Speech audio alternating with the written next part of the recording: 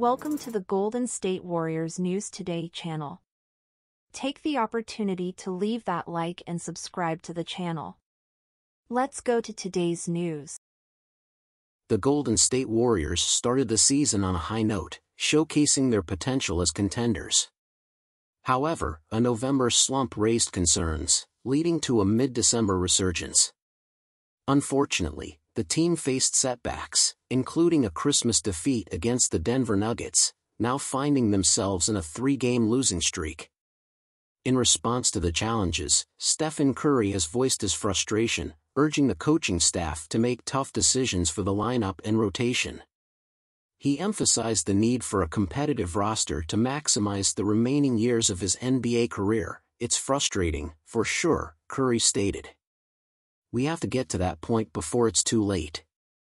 Amid trade rumors, the Toronto Raptors are reportedly considering moving Pascal Siakam before the deadline.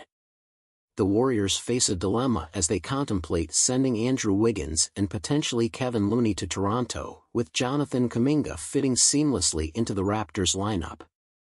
The proposed trade aims to bolster the Warriors' chances by adding Siakam to a lineup featuring Curry, Klay Thompson, Chris Paul, and Draymond Green.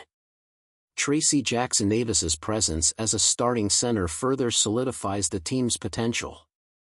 The question now is whether this bold move is the right step for the Warriors. What are your thoughts on this potential trade?